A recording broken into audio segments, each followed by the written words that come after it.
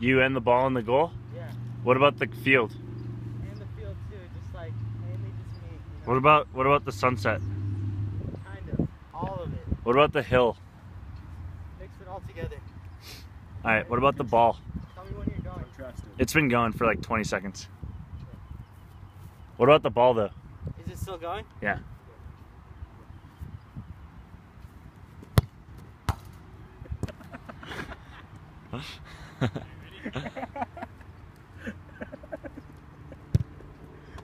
Go! Jarl,